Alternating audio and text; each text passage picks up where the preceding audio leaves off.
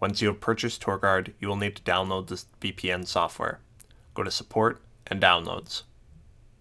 Depending on what you have, Windows or Mac, download your preferred one and save it to your computer.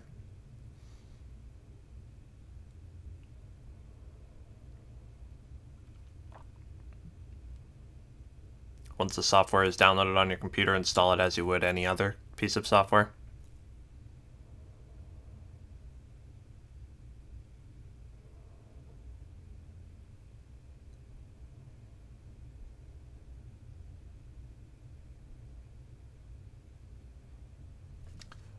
Once you log in with your TorGuard credentials, you'll be greeted with this window with several options.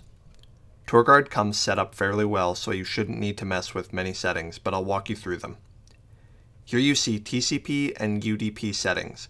TCP is for better reliability of connection, but at a lower speed. UDP has faster speeds, but less reliable. If you're going to be downloading torrents, use UDP. The cipher setting is the encryption that is placed on your outgoing data through the VPN. The preset 256-bit encryption is mostly what you should be using at all times when using your VPN. Under More Settings is where you will find General. These are the basic user preferences for TorGuard. They are how you would best like the program to run, and they are completely up to you on how they should be set. The VPN app kill switch is the easiest way to ensure that no program accidentally routes through your personal IP. It's a simple way to shut down any program that you don't want to use. So you set the program in app kill and it'll automatically shut it down once you connect. Scripts are for any advanced user that has custom scripts that they want to run once they are connected to their VPN.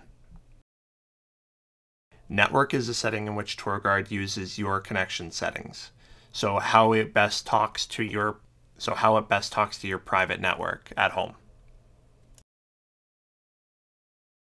Proxy is if you want to run the VPN through another external server, such as a Google.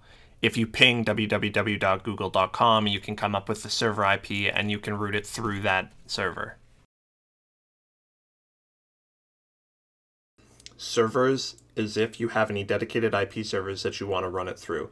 It's a custom savable list that you can create on your own. This is the available server list organized by country. Depending on what you want to do, generally you want to choose the server that is closest geographically to your location. In my case, that's Vancouver.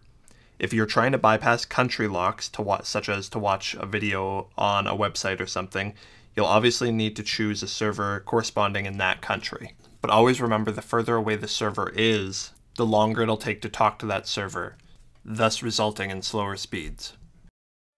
Welcome to Straight to the Point, a channel devoted to bringing great, easy to follow tutorials without making you sit through 10 minutes of dialogue before getting to the reason you're here. No 45 second intros before the video, no notepad text as commentary, no BS. Just the content you wanted to see to fix your problems and answer your questions. So if you like what I do, please rate and subscribe and throw me a comment if you have any more questions. Thanks for watching.